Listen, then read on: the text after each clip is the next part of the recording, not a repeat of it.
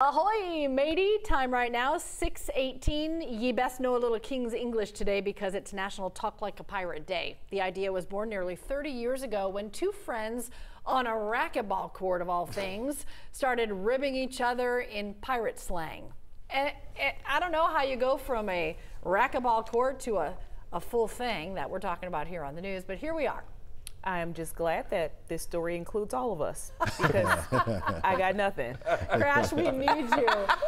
I, I, used to hang out with a pirate group here in town, and they're still around too. It's like an Atlanta-based pirate group, and they celebrate. Obviously, this is their big day, and I've dressed up with them before. They're a fun group, and they do a lot of uh, hopping around in local establishments. But as far as myself, I, I, I can't do the pirate. I, I, can't. I don't have my patch. I don't. Yeah. They are so disappointed in you right now. I know. Well, I mean, I, I, I, could give, I could give you a little shiver me timbers. I Okay. mean, you know, Chesley, you go ahead, hit them with some pirate. Never talk. celebrate it. This is about the closest I can come to it.